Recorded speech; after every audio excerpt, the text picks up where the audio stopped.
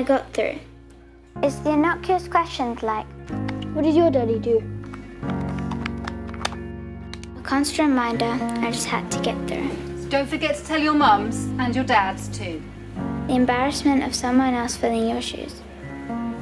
It's the big days you missed. The little ones too. They were the hardest of moments I had to get through. It's the accidental and the awkwardness after.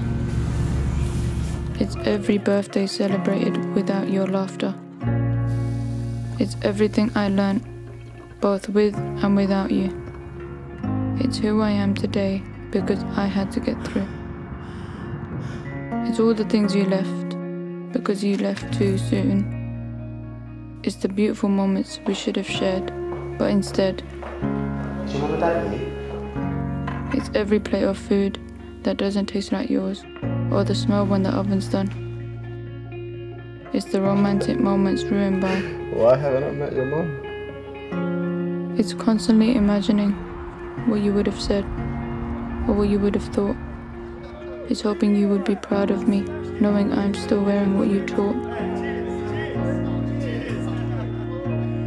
It's the Doesn't she look beautiful, Mum? that I know hurts me and Auntie Jean. It's calling your number just to hear your voice on the answer machine. Michelle, can't take your call right now. But I'm proud I got through.